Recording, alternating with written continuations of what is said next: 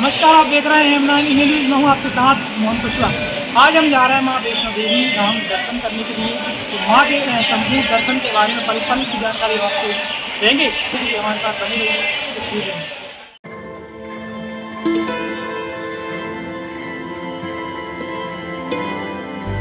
बड़ा लंबा सफ़र तय करने के बाद अब हम पहुँच चुके हैं कटरा। कटरा से अब हम, हमारे आगे की यात्रा प्रारंभ करेंगे। माँ वैष्णो देवी यात्रा से जुड़ी संपूर्ण जानकारी के लिए इस वीडियो में अंत तक बने रहिए।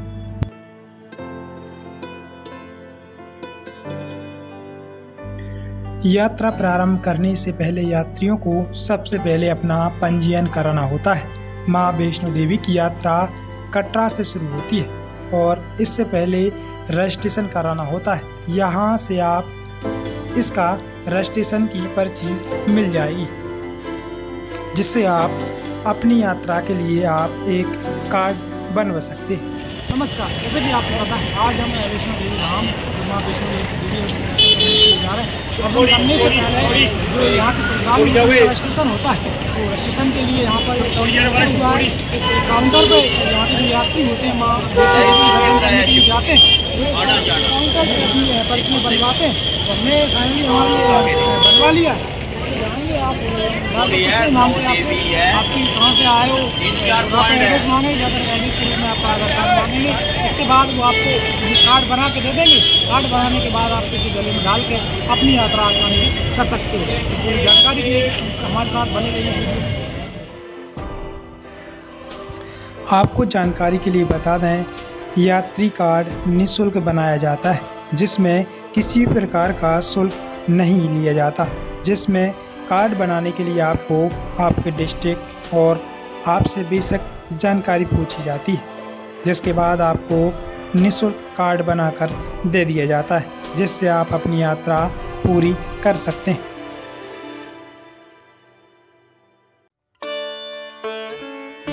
जैसे ही आप अपनी यात्रा प्रारंभ करेंगे तो थोड़े ही दूर चल के आपको एक चेक पोस्ट पड़ेगा, जहाँ पर आपके सामान की चेकिंग की जाएगी और आपको चेक किया जाएगा, जिसमें आपके पास कार्ड होना अनिवार्य है। कार्ड होने के बाद आपको आगे जाने दिया जाएगा।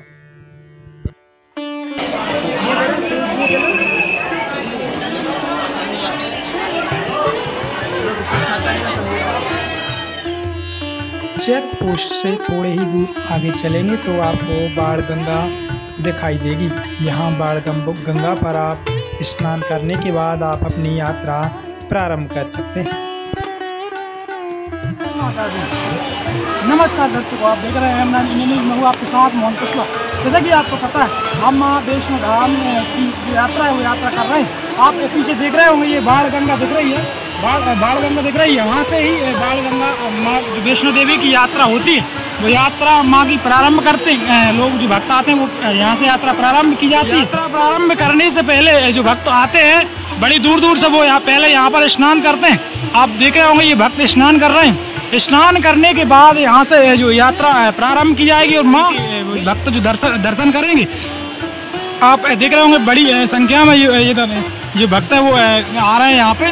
और जो माँ को मन्नत मांगने को लेकर, माँ की मन्नत लेकर यहाँ पर आते हैं भक्त। आप देख रहे होंगे बड़ी दूर दूर से भक्त जो है यहाँ पर आए हुए हैं।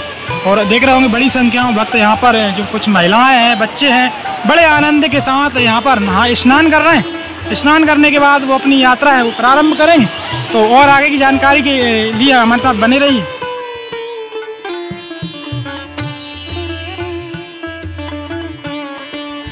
कटरा से बाण गंगा की दूरी करीब चार किलोमीटर है, जहाँ जाने के लिए टैक्सी की सुविधा उपलब्ध कराई जाती है। बाण गंगा में स्नान करने करके और माता के प्राचीन चरण पादुका के दर्शन करने के बाद आप भवन माता वैष्णो देवी के दर्शन के लिए यात्रा शुरू कर सकते हैं।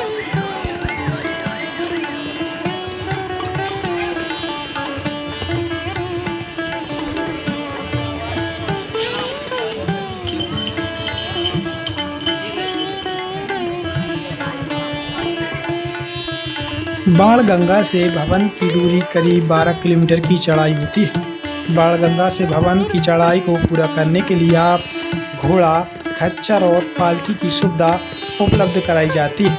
माता वैष्णो देवी ले जाने वाले घोड़े और खच्चर का प्रति व्यक्ति किराया लगभग बारह सौ रुपये तथा पालकी का किराया लगभग तीन हज़ार रुपये होता है। यह किराया सीज़न के अनुसार ज़्यादा कम होता रहता है। आप देख रहे होंगे, हम चढ़ाई चढ़ रहे हैं अभी, पहले सीढ़ियों से चढ़ रहे थे।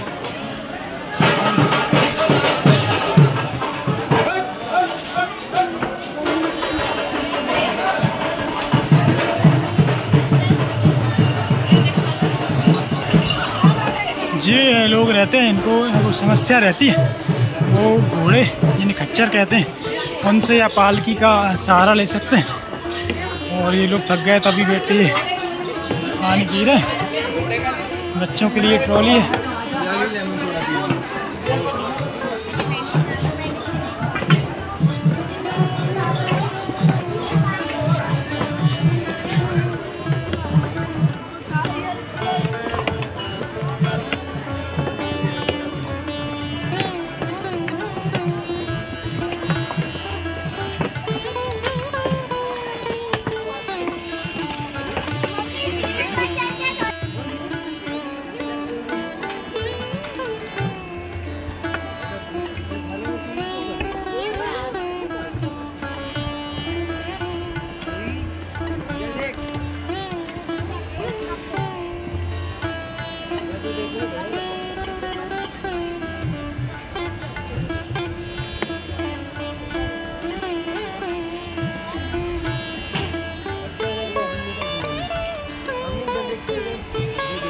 देख रहे होंगे, ये यहाँ से सीढ़ियों से हमें चढ़ के आ रहे हैं। ये हमारी पूरी टीम हमारे साथ है। साथ में ही और ये अर्ध कुमारी जो माता है, वहाँ पे हम पहुँचने वाले बस कुछ ही सीढ़ियाँ और रही, इसके बाद हम अर्ध कुमारी पे पहुँच जाएँगे। यहाँ से आप देख रहे होंगे क्या नज़ारा है। बिल्कुल क्या है, जैसे कि कहते हैं ना, स्वर्ग। स्वर्ग जैसा यहाँ पर हमको महसूस हो रहा है। बढ़िया शानदार आप देख रहे होंगे बाकायदा कितना सुंदर है ये नज़ारा आप देख रहे होंगे। कितना प्यारा नज़ारा यहाँ का लग रहा है, जैसे कि मैं आपको दिखा पा रहा हूँ। जय माता दी की धुन पर लोग झूमते हुए आगे बढ़ते जा रहे हैं।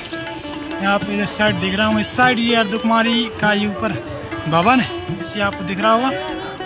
तो मिलते हैं आगे, बनी रही हमारे आप देख रहे होंगे ये पुलिस चेक पॉइंट यहाँ से फिर से एक बार जो यात्री हैं, उनकी चेकिंग की जाएगी, सामान की भी चेकिंग होगी।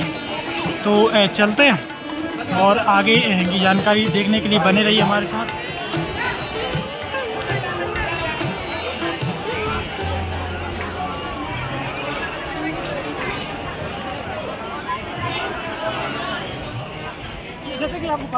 माँ वैष्णो देवी की जो चढ़ाई वो हम चढ़ रहे हैं। उसी की चढ़ाई के उपलक्ष्य में हम पहुँच चुके हैं अर्ध कुमारी आप उस साइड देख रहे होंगे, ये अर्ध कुमारी यहाँ पर हम आ चुके ये अर्ध कुमारी है, कुछ ही क्षण में हम यहाँ पर पहुँच, पहुँचने वाले हैं। और इस साइड मैं दिखाना चाहूँगा, ये व्यू।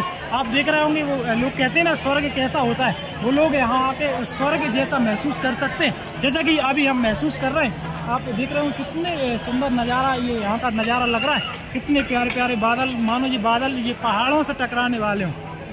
कितना सुंदर ये नज़ारा है। लोग काफ़ी यहाँ आगे इनका लुत्फ भी उठा रहे हैं और अपनी जो आगे की चढ़ाई चढ़ाई पूरी कर रहा है। इस साइड आप देख रहे होंगे ये नीचे यहाँ जो शहर है यहाँ का वैष्णो देवी धाम का वो शहर यहाँ पर दिख रहा होगा। ये रेलवे स्टेशन है रेलवे स्टेशन भी आपको दिख रही होगी। वहाँ से और स्टार्टिंग चढ़ाई की जाती है पहाड़ गंगा से वो भी आप यहाँ से स्पष्ट देख सकते हैं। और कुछ ही क्षणों में हम अर्ध थोड़ा अर्धकुमारी पे रुकेंगे यहाँ से फिर हम अर्धकुमारी से हमारी यात्रा फिर प्रारंभ करेंगे। तो पूरी यात्रा और या, वैष्णो देवी से जुड़ी पूरी जानकारी के लिए इस वीडियो में बने रहिए।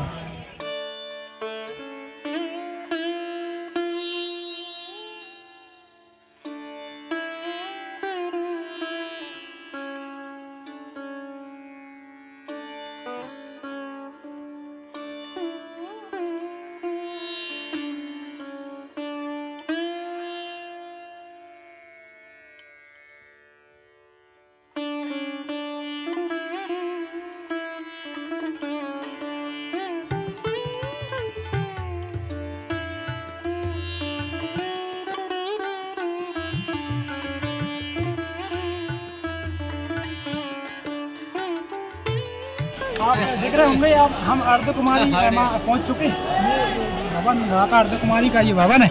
आप देख रहे होंगे ये भवन है। यहाँ पर यात्री जो रहते हैं वो रुकते हैं। इस साइड आप देखेंगे ये मंदिर है। ये मंदिर में क्योंकि ज़्यादा छोटी गुफा छोटी गुफा होने के कारण यहाँ ज़्यादा भीड़ रहती है। तो अगर आप अभी टिकट कटाएँगे तो मिनिमम शाम तक हमारा नंबर आएगा। ज़्यादा भीड़ होने की वजह से अंदर मंदिर में कैमरा अलाउ नहीं है इस वजह से हम आपको दर्शन नहीं करा पा रहे हैं। हालाँकि भी, भी कोशिश करूँगा कि पीछे से आपको जो गुफा का है उसका वीडियो मैं आपको दिखाने की कोशिश करूँगा। अगर आप दर्शन करना चाहते हैं तो ये पीछे दिख रहा हूँ इधर काउंटर लगा, लगा रहता है। जितने भी आप यात्री हों काउंटर से अपनी पर्ची कटा कर यात्रा कर सकते हैं। लेकिन आपको थोड़ा वेट करना पड़ेगा। वेट करने के बाद जैसा ही आपका नंबर आएगा तो आप उसी नंबर के आधार पर आप जाकर अपने दर्शन कर सकते हैं।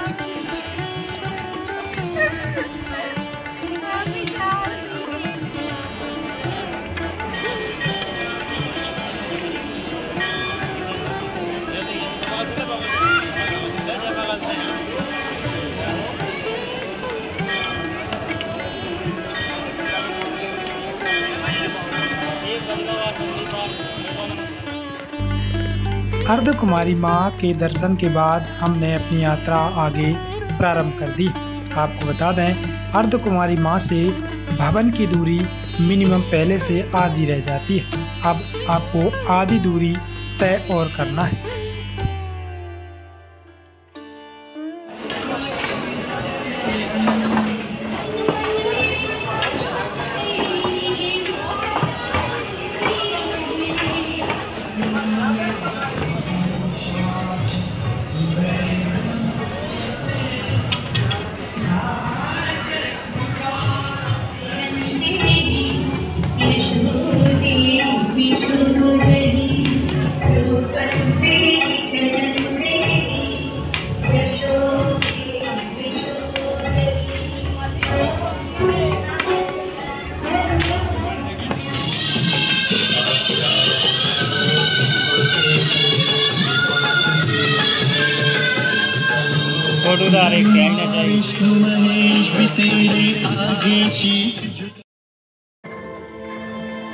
आखिरकार चढ़ाई चढ़ते चढ़ते हम माँ के भवन के करीब पहुँच ही गए आपको बता दें, भवन यहाँ से एक किलोमीटर आगे।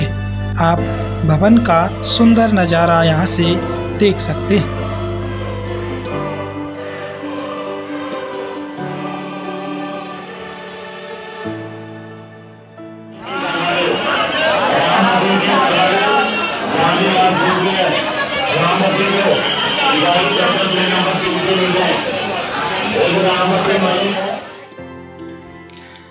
आखिरकार हम माँ के भवन पहुँच ही गए। आपको बता दें, यहाँ आपको आपके सामान की सुरक्षा के लिए आपका सामान लॉकर में रखना होगा। लॉकर में सामान रखने से पहले आप यहाँ स्नान करेंगे। स्नान करने के बाद आप अपना सामान लॉकर में रखें और माँ के दर्शन के लिए गुफा में जा सकते हैं। आपको बता दें, गुफा में कैमरा, इलेक्ट्रॉनिक चीज़ें अलाउ नहीं।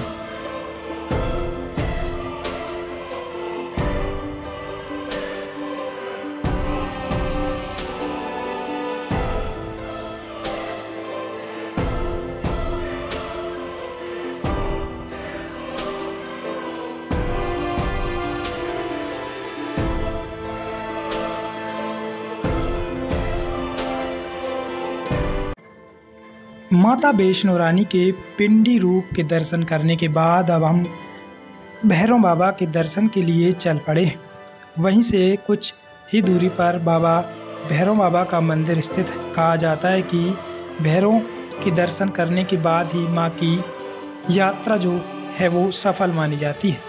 जो भी मनोकामना माँ से मांगी जाती है, वह भैरव बाबा के दर्शन करने के बाद ही पूर्ण होती है हैं।